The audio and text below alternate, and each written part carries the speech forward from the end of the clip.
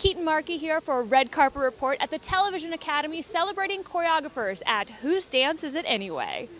What does tonight mean for you as a choreographer, as a producer, somebody who's been in this industry for a very long time, to kind of have this new peer group of uh, kind of your peer? Yeah, sure. Uh, well, thank you for saying I've been in the business for a very long time. Uh, very kind of you. so successful. No, I, I'm thrilled, obviously. Uh, I think, you know, we've waited a long time for a peer group for the choreographers. And certainly, dancing and choreography has become so prominent in the business at the moment. Uh, and with movies like La La Land coming through as well, um, it, it's a perfect timing for the peer group to appear. Do you think with movies like La La Land, we're going to see more movie musicals coming out?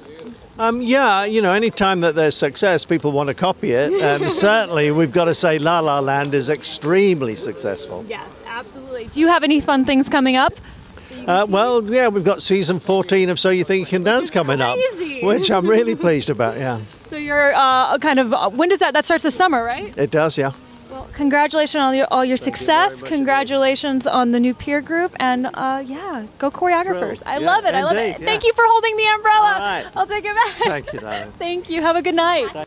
If you like this video, make sure to give me a thumbs up, subscribe for more, and in the comments below, let me know who your favorite choreographer is. I'm Keetin Marchi. Thanks for watching.